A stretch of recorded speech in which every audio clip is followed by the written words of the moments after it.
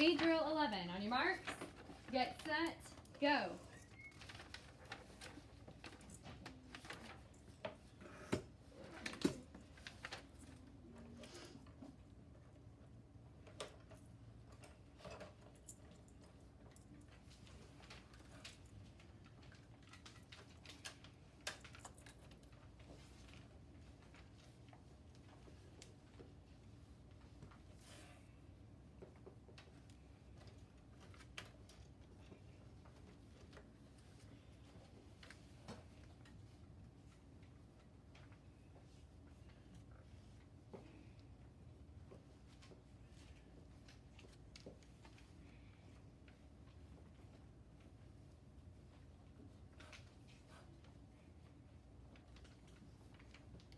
Ten seconds.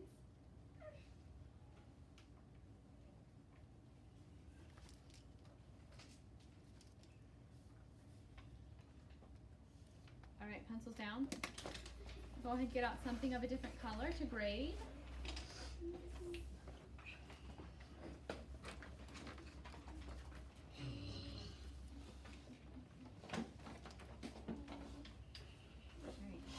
Starting in the first row, top right or top left corner, excuse me. 36, 8, 40, 21, 6, 16, 28, 25, 12. Second row, 27, 12, 10, 20, 10, 18, 0, 35, 4.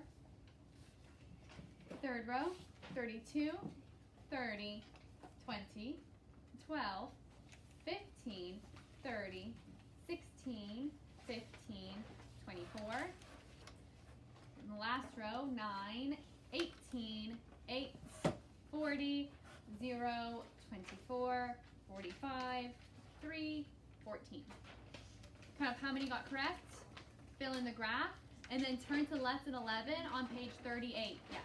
Can you redo um the second one and the third one?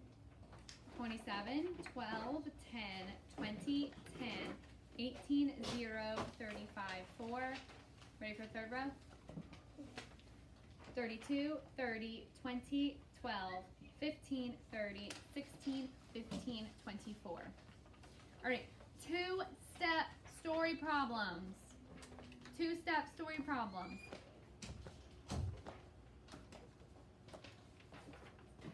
Sometimes we must work two problems to find the answer to a story problem. Problems like these are called two-step two-step story problems. Read this two-step problem. All right, listen. There's going to be two things we have to do. Nine lambs were born to the flock on Monday. Stop? You're shaking the thing. Four of the tiny lambs did not survive the snowstorm on Tuesday. On Thursday, two more lambs were born. How many lambs were there in the flock? So that, that one has three numbers in it. So we started off, there were nine lambs born. Not the time. There were nine lambs born. Four of them did not survive the snowstorm. But on Thursday, two more were born. So what we would have to do is step one, we need to subtract the lambs that died in the snowstorm. So we started out with nine, four of them died. So we did nine minus four to get our answer, which was five. That was the first part. So the second part was two more lambs were born. So how many did we have now after the four died? We had five. So then two more were born. So we needed to add two to that. So five plus two, which was seven. So what's our answer? What answer would I write down? What answer would I write down? Anastasia. Seven. Seven, because that was the final answer after we followed the two-step story problem. So go over to number one. Let's do it together. I want you to take out your pencil and we're going to underline any numbers that we see. We're going to underline any numbers that we see. The Weavers had 87 cows on their dairy farm. Last month, 14 calves were born. Father sold seven of the calves. How many cows and calves are on the farm now? So we have three numbers to work with, two steps. Well, what does the first part say? There are 87 cows and 14 were born. Last month, 14 were born. So what do I need to do? What's my first step, Fernando? Um, put 87 and 14 in the solution. Um, then What do I need to do to those? um, then you put minus. Minus, but there were 14 born Oh, wait, um, plus. plus. Because they had 87 cows and 14 calves were born, so we need to add those together. So what's 7 plus 4? Everly. 11. 11. 1 plus 8 plus 1. Zane? 10. 10. All right, so we have 101. What is our next step? What's our next step? It says father sold 7 of the calves. Sold 7 of them. So what do I need to do, Anastasia? You have to put 101 minus 7. 101 minus 7. All right, what's 1 minus 7?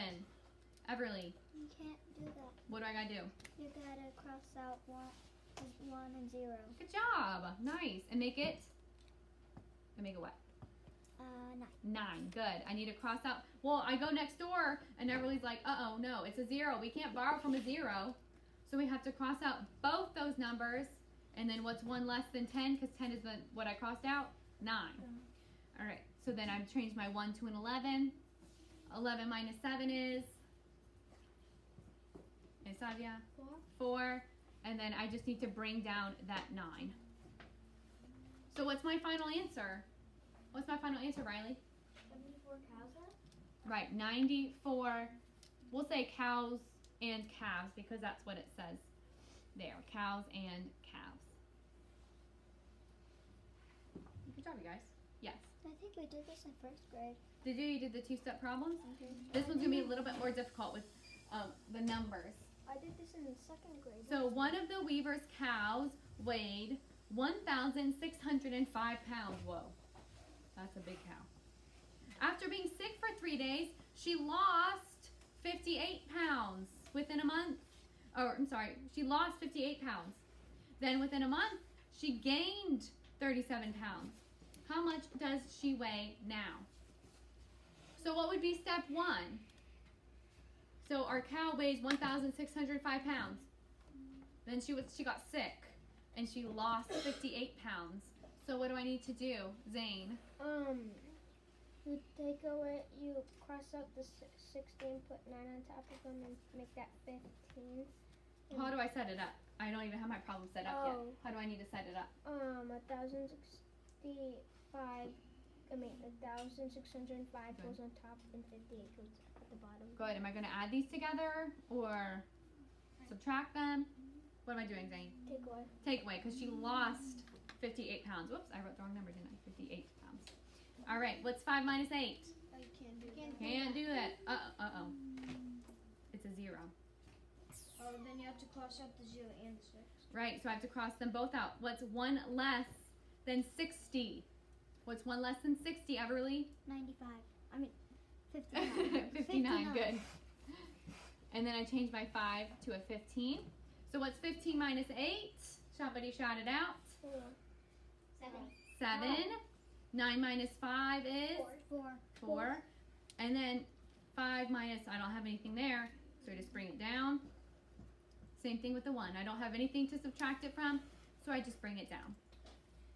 All right, what's the second step?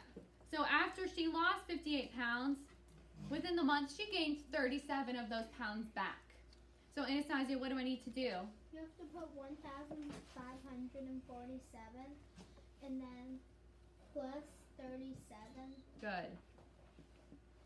7 plus 7 is 14. 14. 1 plus 4 plus 3 is. Start it out. 8. 8. And then again, I just need to bring down the 5 and bring down the 1. So what's my final answer? What's my final answer? Everly. one thousand and fifty. Five hundred and eighty-four. And then what's my word here? 1,584 Pounds. pounds. Good job. All right, so there you go. A little intro to two-step story problems. You may go ahead and begin the We Remember. Yes. Um, speaking of this, I remember us doing this in second grade. Sweet.